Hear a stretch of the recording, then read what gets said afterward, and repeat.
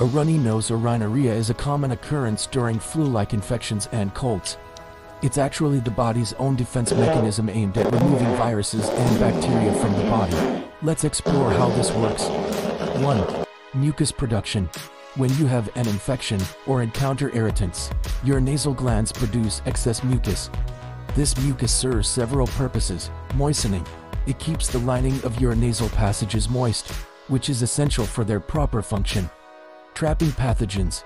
The mucus acts as a sticky trap, capturing pathogens such as viruses and bacteria that enter your nasal passages. Clearing. Fine hairs called cilia line your windpipe and move the trapped mucus and particles away from your lungs, preventing them from reaching deeper into your respiratory system. 2. Tears and saliva. Tears, mucus, and saliva contain enzymes that can break down the cell walls of many bacteria. 3. Good bacteria. Beneficial bacteria inhabit various parts of your body, including your nose. These friendly bacteria prevent harmful bacteria from taking over. 4. Neutrophils. These white blood cells are like vigilant sentinels. They can find, kill, and ingest pathogens seeking entry into your body. So, the next time you experience a runny nose, remember that it's your body's way of protecting itself against potential invaders.